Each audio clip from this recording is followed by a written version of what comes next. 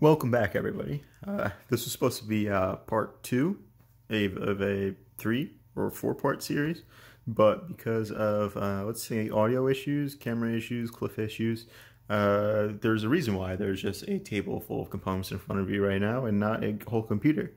So, a little bit of a rundown. I was trying a new audio setup, which was using another app on my phone and an external mic, which is actually USB powered. It was a Pro X wireless headset uh, to record the video because my audio quality is honestly terrible. I know that.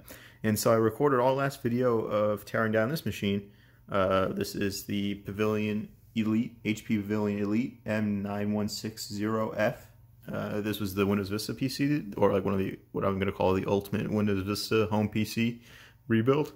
Uh, but I didn't have any audio, so those videos were scrapped. I tried doing it in post, but there's there's more issues besides lacking audio. There's frame rate issues, and it, it, it just it wasn't working. So I decided to scrap it. Let's just go to part two, make part two part one. And uh, enough of the background. Let's go over what's going on. So as you can see, this is a husk of this uh, Pavilion Elite M9160F PC. The original specs of this machine were Core 2 Quad Q6700. I believe this clocked at 2.66 gigahertz uh, quad core processor released, I believe, in 07 or 0, yeah, I believe 07. Uh, we have 4 gigs of memory. I'm guessing that was in two, two 2 gig sticks or maybe four 1 gig sticks. Uh, the machine, when I got this machine, uh, well, I'll go over that in a little bit, but it didn't come with a bunch of these components. They've been missing. Uh, one of the components that was missing was the CPU. I'll talk about in a second. But it was supposed to come with 4 gigs of memory, 720 gig hard drive, an HD DVD player, another DVD burner, uh, GeForce 8600 GT, uh, USB wireless, not a PCI card, uh, Windows Vista Home Premium 64-bit edition, and it's got like a ton of extra features like these, um, like backup bays and pocket media drives, and it's got a uh, 5-1 card reader and a TV tuner, and like a whole bunch of crazy stuff. So this is definitely a feature-rich PC when it released. Here's the front panel of it you can see we have this, uh, we have all these connector port locations, which line up right here. You can see this is component video and component audio, uh, headphone and mic out, USB, Firewire. So I believe this is actually AV in, yeah. So this is composite, S video in, left right in. So this is for recording, USB 2.0, Firewire, headphone jack. We got our drive icon, indicator icon, our Wi-Fi icon. We have what's called a media drive bay here, uh, it's like a big. It looks like a. I'll show you. It's like an ex, a proprietary kind of not a proprietary, but like a proprietary form factor, but like USB drive. Uh, you can see there's a Core 2 Quad sticker, the Windows Vista sticker, and powered by NVIDIA. This I, I miss these old stickers. This is a, a, bit of nostalgia right here. There's also a bay for this, what's called a Pocket Media Drive. I'll show you that. And here's the HD DVD player bay and the LightScribe bay. So I already took out all the components. As you can see, they're all list, laid out right here. Here's the motherboard. Um, let's see, we have two, I mean, we have two PCI Express times one slots, PCI Express times 16 slot, PCI slot. This is socket LGA 775. Uh, originally, the machine wasn't booting, and I assumed it was the power supply. Oh, and it also came with a PCI Express uh, fax card that looked like it uh, had a bad resistor on it. So I removed the PCI um, Express um, modem card and it uh, still boot. And then I took uh, nothing was getting hot, so I'm like, okay, that's why I thought it was a power supply. It's not getting any power. But when I took the CPU fan cooler off, there was no CPU under there. Uh, the Q6700 was gone. Also, there was no RAM installed in the system. This is just, uh, I believe, two gigs of uh, a single, uh, one gig and one gig each of DDR2 RAM, just for testing. But there was no Q6700. It was just gone. The the seat sink had been replaced, plugged back in, uh, so I put in a Core 2 Duo real quick and I was able to boot it to the BIOS, so I at least know the board's working. I did chuck the power supply already. This is why we have this 6 uh, Corsair CX600M power supply. This is a modular power supply. I only have these two leads for it. I believe this is just a Molex lead and a SATA lead. So this will do good for this this task because I don't. Uh, let me back up. Uh, obviously, it came with a dedicated video card, but I did not get that either. So, in terms of components missing, we didn't have the CPU, we didn't have the video card, we didn't have the RAM. So the video card, I don't know what I want to put in put in there right now. Uh, it's going to be something that could be supported by just the 75 watts that the PCI Express slot delivers, because I don't have any uh, PCI Express leads of for the power supply. I could do Molex adapters, but I think I will need them for all the components in this PC. So, uh, some other neat features about this board is it has uh, tons of USB headers. We'll see in a little bit. These are all powered USB headers. They're just the USB lead connections. So we have four regular, uh, four of these powerless headers. We have a couple extra additional headers with power as well. So these are just data leads. That's why there's not as many pins. Uh, we have six SATA ports. We have a floppy connector. No IDE on this, so this is IDE free. Uh, we have our one conventional PCI slot, like I said, audio, line in, uh, SPDIF out, uh, FireWire out, I believe. And um, yeah, that's about it. So um, for the motherboard, like I showed you the power supply. The CPU, I thought I had another Q6700 in my collection, but I don't. This is a Q9 90, uh, 9400, I believe. Yeah, Q9400. So this is the same clock speed but it is a newer processor. It does work on this board, but it, obviously it's not going to be the original. So I have a whole bunch of those Q9400s, so I'm going to use those. Focus. Okay. Here are drives. So on top here we have a traditional SATA DVD drive. Uh, see this, you know, SATA connection in the back. That's the LightScribe DVD drive, and this is the uh, HD DVD drive, and I was surprised in my original video, I made the same comment, oops, stop fo focus, that this is using a IDE connector. And this was pre-installed by HP from the factory. This is a um, obviously an IDE to SATA converter. So I didn't even know they made HD DVD drives in the IDE form factor. I didn't. I think the bus would have enough bandwidth for it. I guess it, I guess it should. Yeah, 100.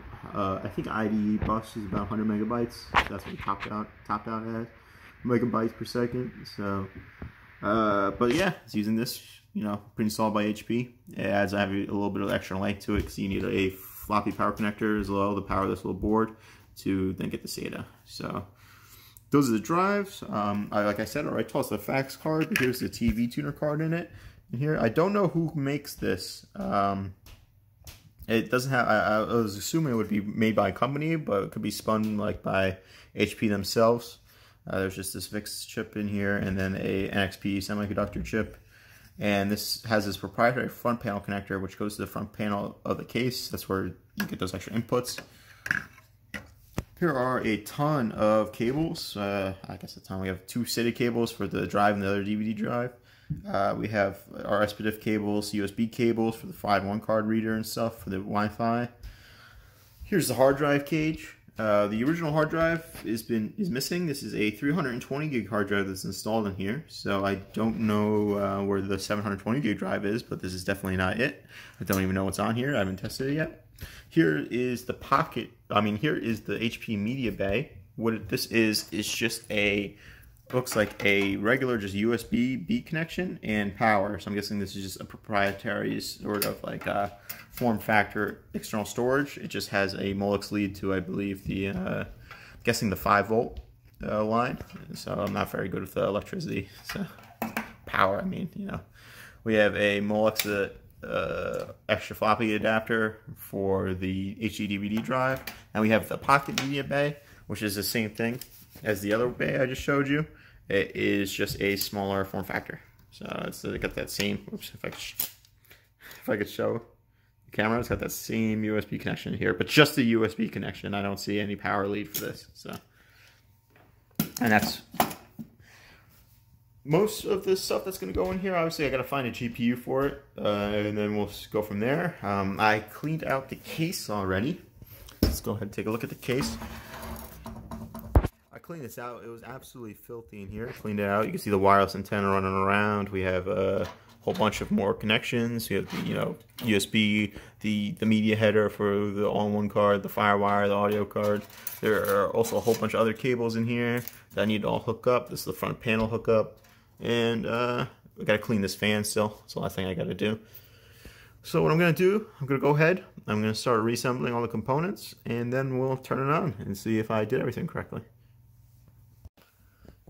Okay, so we got the board installed in the computer. power supplies in. Uh, I ended up going with the, get this 24 pin cable out of the way. I ended up going with 4 gigs of DRAM. These are 1 gig sticks uh, at 800 megahertz. I'm not sure the board can run at 800 megahertz. I'll downclock to 633 or, when was it? 666 megahertz or in 533 megahertz. I believe it's one of those two. It'll obviously downclock if it needs to.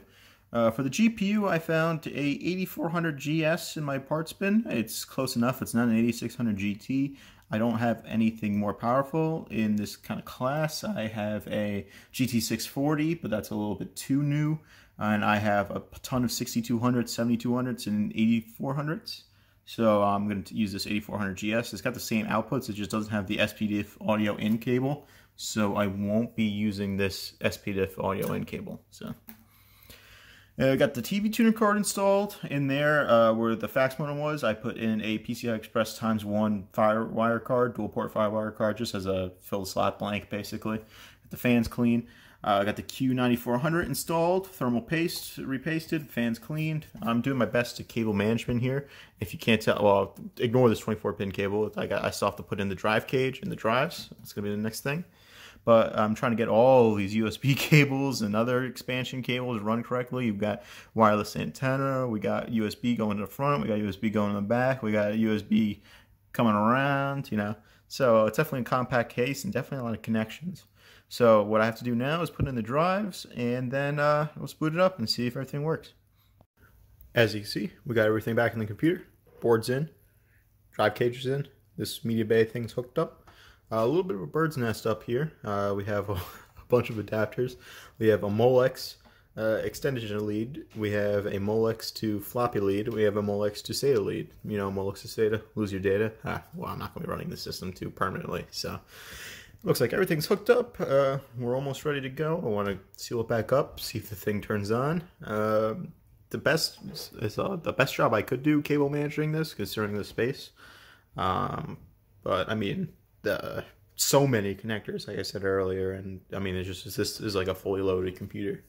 So let me go ahead. Um, just need to glue this little piece on back here, and I glue this back on, and I'll put the front panel back on, and we'll just go over the system. As you can see, we got the 4 gigs of RAM uh, and 4 DIMMs with the CPU cooler, CPU fan. I believe this is an IR board for remote control. So there's an IR controller in there, Come more of the home theater PC vibe. There's the 8400 GS I installed. Here is the USB Wi-Fi card. There's a USB lead, and then there is a USB, uh, LED indicator that is routed to the front with the two um, antenna leads. You can see them going above the power supply right there. Get the FireWire card, the TV tuner card, all cables hooked up. We have the two SATA cables on the top hooked up, and we have the SATA cable hooked up to the DVD drive with power, and everything else I believe is hooked up correctly. We have our little Pocket Media drive, our HD DVD drive, our uh, Lightscribe drive, and our 501 card reader. So let me go ahead, let me seal up the machine. As you can see, here on the BIOS screen, after a little bit of debugging, uh, so got the system finally up and running. Uh, you see I had to take out the Core 2 Duo again, uh, ignore a little bit of thermal paste on there. I didn't really put the only put the heatsink on temporarily.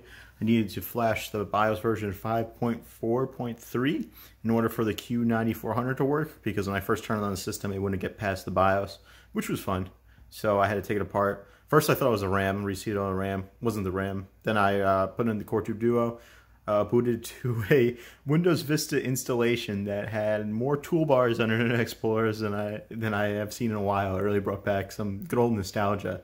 Uh, there was uh, Norton complaining about uh, Trojans. Uh, there was a HP uh, program trying to install itself on every reboot.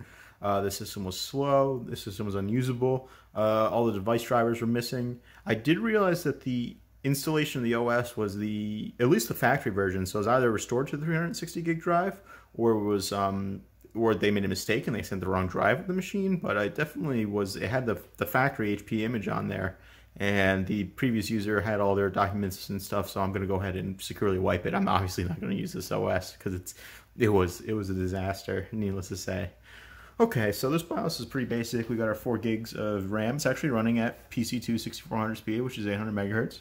We have our three drives detected. There's our 320 gig hard drive, our uh, DVD drive, and then our HD DVD drive. Uh, the clock battery was dead. I put in a fresh one, I guess, at the time. And this BIOS is pretty basic. We just have our Core 2 Quad Q9400. Uh, I gotta set all this stuff again. I'm gonna change this primary video adapter back to the PCI Express. It defaults to RAID mode, which is interesting. I usually would think would be AHCI, but whatever. Uh, and then all we have is in these features in the power field is just XD-bit virtualization technology and restore on power failure, and then a boot field, which is very, very basic. Uh, there's not a lot of features in this BIOS, so. Well, I mean, this was definitely an odyssey. So we, like I said, we have the system up and running. I'm going to go ahead. I'm going to scrub the disk. I'm going to uh, at least write a. am going to zero out the drive at least. I don't want any of the data. I don't want any of those junk on there. Uh, just a helpful hint: if you ever get rid of a computer, make sure to wipe it first before you uh, send it to get recycled. So, or, or leave it on the curb or whatever. So, but um, that's going to be it for this video. I do have some good news on another topic. Uh, the other topic is that I am getting a new phone, a new cell phone. I just put in an order for a Sony Xperia 1 uh, version 3 or uh, Xperia 1 Mark 3 or I don't know how they put that in, but that, that's supposed to be shipping in late August and this will replace the Galaxy S8 which I'm currently filming on. So hopefully the video quality will increase. I could probably get some better equipment for the channel and continue making these terrible videos. So this is the end for part two. Part three, I'm going to go ahead and reinstall the OS, update all the drivers, and try to use it in 2021. Until then, I'll catch you next time.